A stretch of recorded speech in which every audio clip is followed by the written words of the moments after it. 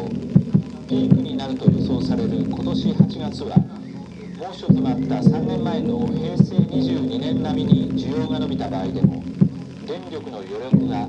中部電力管内を含む西日本全体では6%東日本全体も6.7%全国で6.3%確保される見通しだとしています。電力会社ごとの余力でも最も少ない関西電力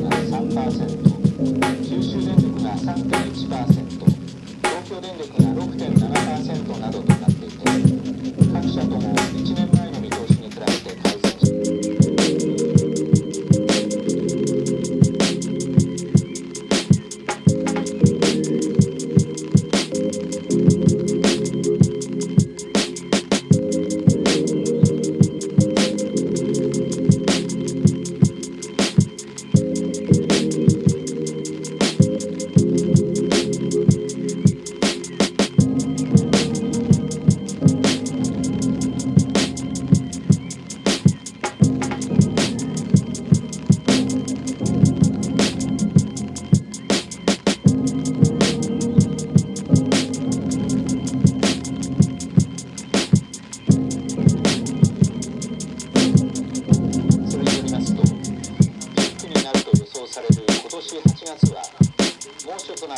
年前の平成22年並みに需要が伸びた場合でも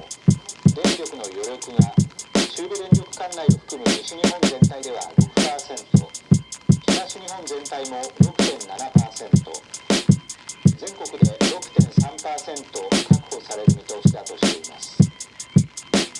電力会社ごとの余力でも最も少ない関西電力が3%九州電力が3.1%東京電力が6.7%などとなっていて各社